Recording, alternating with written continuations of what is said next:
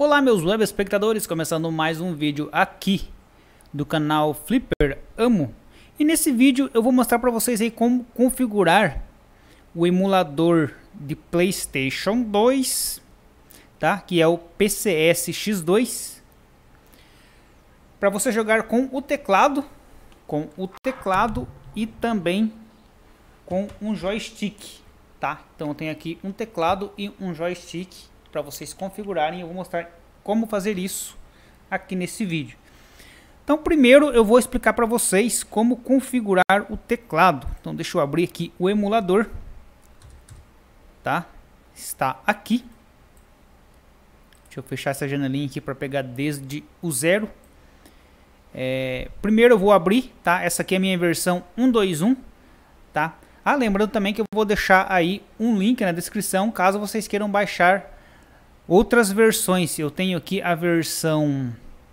Deixa eu ver, eu tenho a versão 121 e a versão 140, beleza? Se vocês quiserem baixar uma versão mais atualizada, vou deixar aqui esta página para vocês fazerem o download, beleza?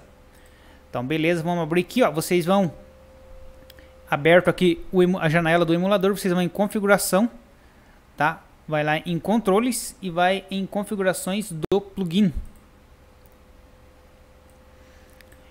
Aí vocês vão clicar aqui em Pad 1, tá? Que daí no caso a gente vai configurar o controle 1. Se você quiser configurar o controle 2, tá? No jogo, né? Você vai usar esse espaço aqui, ó. Como eu não configurei, ele tá zerado aqui. E no 1, tá? Como eu já configurei, ele tem todas essas informações aqui que me diz onde estão mapeados os botões. Só que para isso eu vou ter que limpar toda essa configuração aqui para eu mostrar para vocês. Então eu vou clicar em Clear All.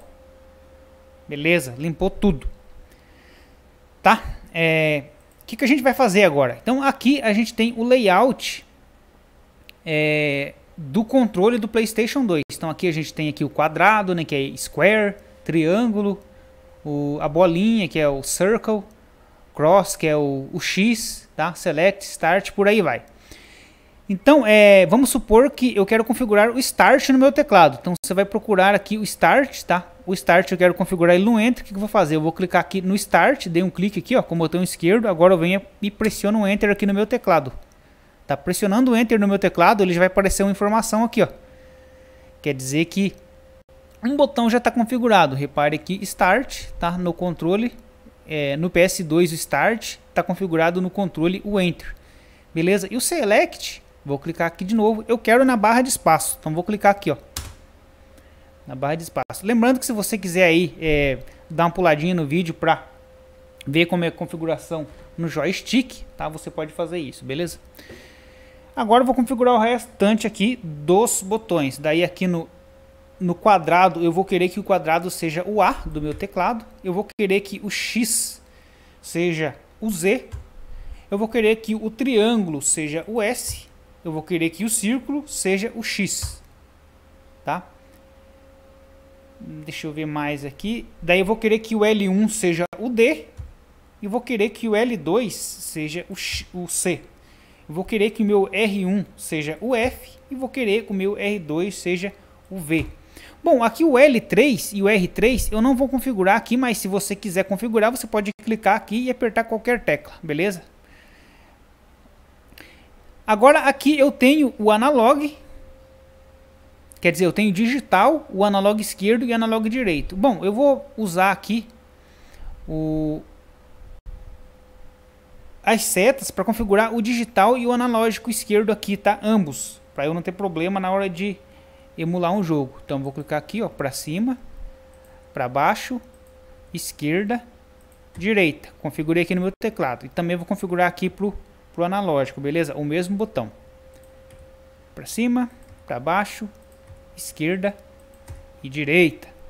Beleza? Agora eu vou dar aqui um aplicar. Beleza, já é para estar tá funcionando aqui, tá? Mas a gente vai testar ainda com o jogo, tá? Só que para isso agora, é, antes de testar, eu vou configurar isso aqui também, ó. E eu posso usar esse mesmo campo aqui, ó, para configurar o joystick também. Por exemplo, eu posso jogar no joystick, tá jogando no joystick aqui, tô lá jogando, ah, beleza, enjoei do joystick, agora vou jogar no teclado, por exemplo. Vou jogar um outro jogo que fica melhor jogando no teclado. Você pode jogar o teclado, tá, você pode utilizar os dois, tá? Pode usar um, depois usar outro, que vai ficar configurado para os dois. Por isso que é bom é, essa configuração aqui. Tá? Vamos supor que num jogo você usa o joystick, no outro jogo você usa o teclado, por exemplo. Tá? Você pode, não precisa mexer tu, é, na configuração novamente, tá? É só você trocar de dispositivo. Tá? Então agora eu vou configurar aqui, tá? O mesmo processo, vou clicar aqui no Square, por exemplo, aqui, ó. Para eu configurar o quadrado aqui, ó.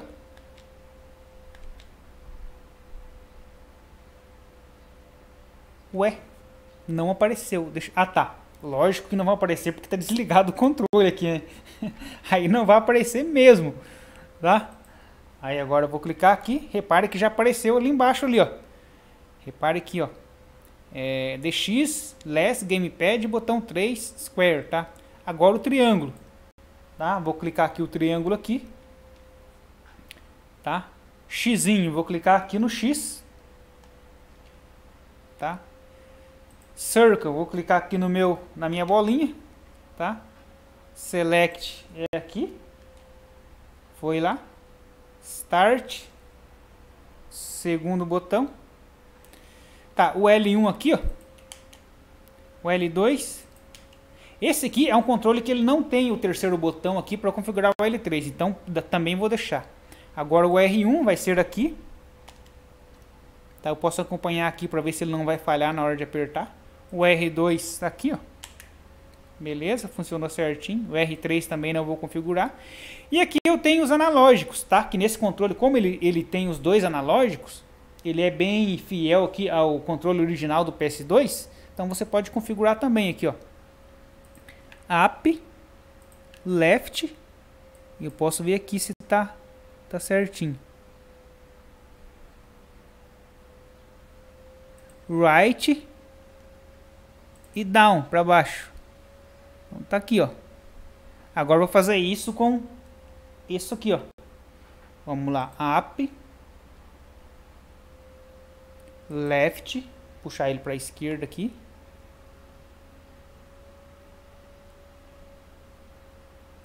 Right e down. Beleza? Bom, é isso aí então. Agora que eu vou fazer, eu vou dar um aplicar aqui, ó. Dei um aplicar, pronto, já está salvo aqui, tá? E vou dar um OK. Agora o que eu vou fazer? Agora eu vou carregar o jogo aqui, vou carregar o GTA para a gente testar para ver se funcionou mesmo. Então vamos lá. Então deixa eu desligar aqui novamente o controle. Tá, vou carregar aqui o GTA. Carregar CDVD rápido. Vamos lá.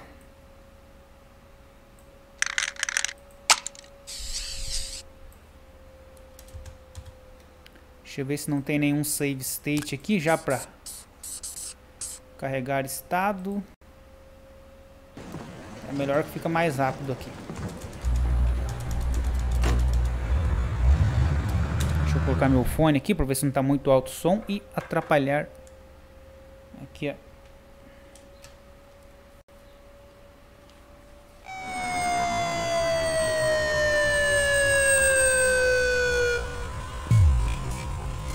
Bem alto.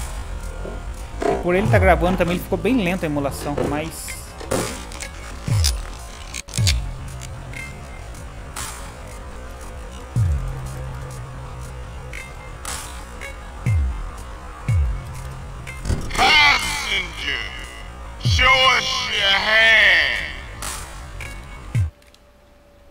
Bom, consegui cortar. Vamos lá. Apareça. Tchum, apareça. Aí. É, ele ficou lento porque... Como eu estou... Meu computador também é... É ruim. Então ele ficou lento. Mas o que, que eu vou fazer, ó? Vou mostrar aqui pra vocês que está funcionando. Aqui o analógico ele está funcionando, está se movimentando ali, ó. Deixa eu dar um pulo aqui pra ver. Aí, ó, pulou. Tá? Pegou a bicicleta ali, ó tá? Vamos dar uma aceleradinha aqui pra ver.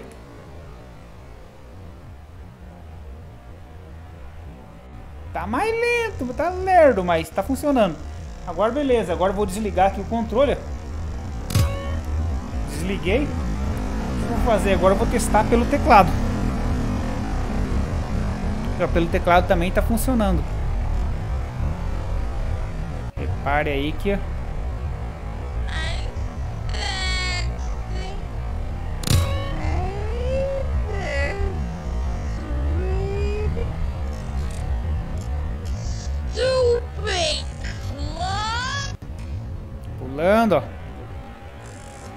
Funcionando certinho, pessoal. Bom, deixa eu parar a emulação aqui. Tá? Vou parar a emulação, porque ele tá, por causa de estar tá gravando, ele acabou ficando lento. Mas é isso aí então, tá? Vocês viram que deu tudo certo. Surgindo alguma dúvida, deixe um comentário aí na seção de comentários, tá? Vamos deixar o link para você fazer o download do emulador, caso você ainda não tenha, tá? Então, se você estiver aqui pela primeira vez, se inscreva no canal que a gente sempre está postando dicas e coisas de games aqui, tá? É... E deixe seu like se você já é inscrito. A gente vai ficando por aqui. Até mais e beijo do nego!